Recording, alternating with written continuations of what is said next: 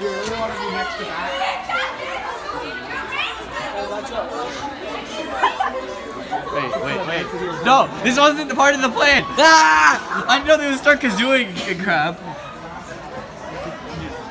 All right, have everyone Cap'n Cake here. Um, uh, some Nook has a freaking Danny DeVito bo- body pillowcase, and someone's doing kazoo version of um All-Star. All Star. Yeah, yeah, All Star.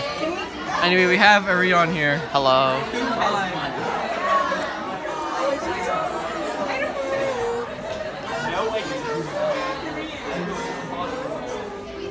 Don't. Hey, look, it's really um. Also, I never said that. He's giving off a stay. He's giving off a stay-at-home dad vibe apparently. I told him he looked like a he looked like a girl sweater, but whatever.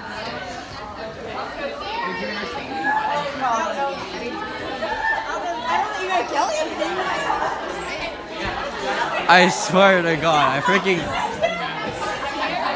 In my opinion, every single freaking body pillow is a sign of weeabooism, no matter the situations. Even despite the fact that Danny DeVito is not Ital- is not Japanese.